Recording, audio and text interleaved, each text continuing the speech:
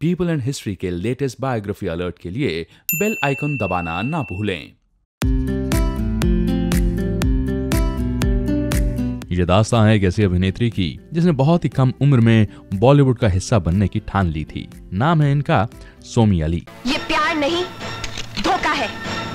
तुमने सिर्फ़ मुझे नहीं, बल्कि इन मासूम लड़कियों को भी धोखा दिया है।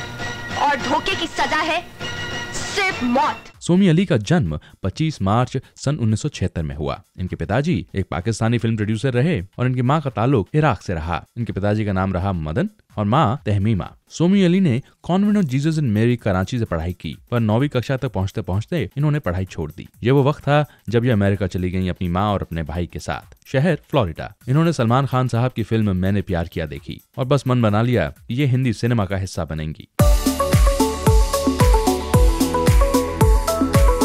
मात्र 16 बरस की थी जब इन्होंने अपनी माँ को मनाया और कहा कि मुझे मुंबई जाना ही है। इन्होंने मॉडलिंग भी की और बाद में ये फ़िल्मों का हिस्सा भी बनी। तुम्हारे जैसे बेशरम आदमी के माथे पे तो जू तक नहीं रेंगेगी। जू? तुम कभी नहीं सुधर सकते। आज से तुम्हारा मेरा रिश्ता खत्म। Get lost from here Somy Ali की इच्छाएँ थी कि वो सलमान खान से मिलें और आगरे का ताजमहल ज़रूर देखें। ये जब मुंबई आई तो इन्होंने मशहूर मारूफ फोटोग्राफर गौतम राजाध्यक्ष से अपना पोर्टफोलियो बनवाया। इन्होंने कुछ प्रोडक्शन हाउसेज से भी ताल्लुकात बनाने की कोशिश की। इत्तेफाकन सलमान खान साहब ने इन्हें देखा और इन्हें फ़िल्म बुलंद के लिए पक्का कर लिया गया। हालाँकि ये फ़िल्म रिलीज़ ना हुई। सलमान खान साहब के साथ इनका रिश्ता भी बहुत चर्चा में रहा। इन्होंने सैफ अली खान, चंकी पांडे, मिथुन चक्रवर्ती और सुनील शेट्टी जैसे दिग्गज हीरोज के साथ काम किया। ये तकरीबन 10 हिंदी फ़िल्मों में नज़र आई। तुम्हें तुम्हारी करतूतों के साथ रंगे हाथों पकड़ने का ये मेरा प्लान था।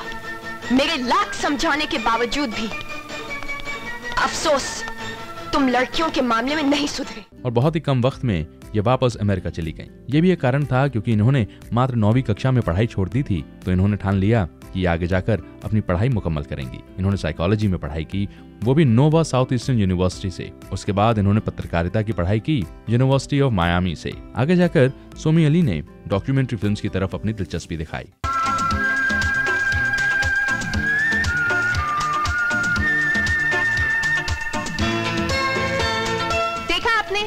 पानी में हमेशा हाथ पाँव का मूवमेंट एक रिदम में होना चाहिए। अब जैसे मैंने किया, वैसे आप लोग कोशिश करिए। चलिए। और फिर महिलाओं के अधिकारों के लिए इन्होंने काम करना शुरू किया। सन 2011 में सोमी अली को अमेरिकन हेरिटेज अवार्ड से नवाजा गया, जो कि अमेरिकन इमिग्रेशन काउंसिल की तरफ़ से था। सोमी अली की ज़िंदगी में अजब उतार चढ़ाव रहे, लेकिन जब भी इन्होंने बात की तो बड़ी बेबाकी से की। और हिंदी सिनेमा में वो काम किया कि आप इनकी शख्सियत को भुला ही नहीं सकते। महान प्रतिभाओं के जीवन के बारे में जानने के लिए सब्सक्राइब करें पीपल एंड हिस्ट्री।